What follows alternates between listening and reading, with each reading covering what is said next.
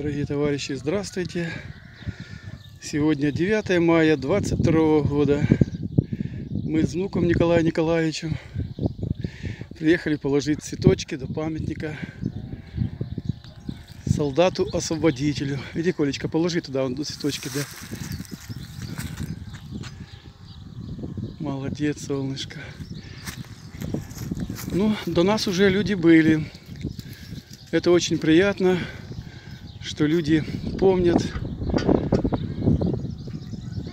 славную дату 9 мая. Памятничек давно стоит здесь, конечно, требует ухода. Я, Колечка, закрою, я закрою, солнышко. Требует ухода. Ну, ребята, сейчас не то время, чтобы ухаживать, конечно.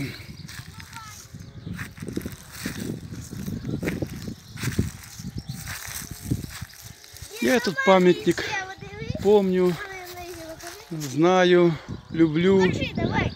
Это праздник моего любимого ботянички Змеевска Николая Николаевича. Полного тезки вот этого мальчика Николая Николаевича Змеевского. Сейчас, Колечка, подожди, солнышко мое.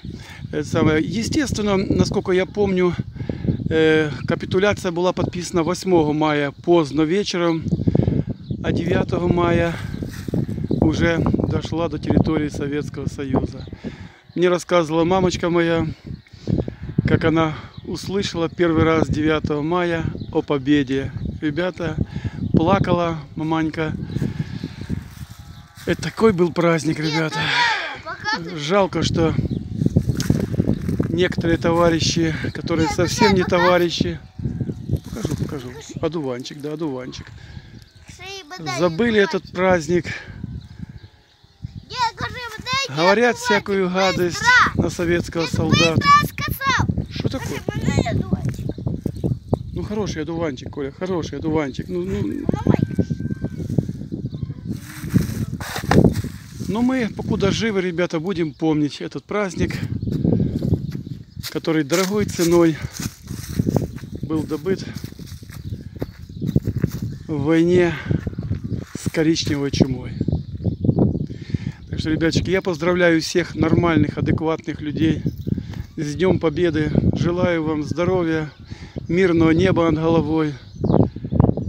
И чтобы было у всех все хорошо, ребяточки.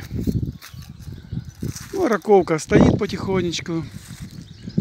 Куда ей деваться? Народу, правда, очень мало стало. Ну, где-то процентов 25, мне кажется, покинула раковку под различными предлогами. Конечно, в основном страх. Страх человеческий, это животный страх, это очень серьезно, ребята.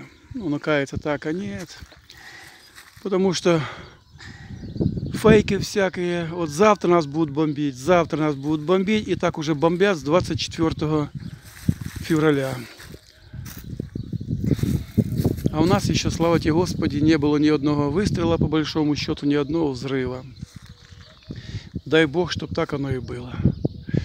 Ну все, ребяточки, извините, кому что не понравилось. И, конечно, хотел бы многое сказать, но, сами понимаете, промолчу, покуда промолчу. Все, пока-пока-пока. Кольчка, скажи пока-пока. Пока, пока. Ой, ты мой хорошенький.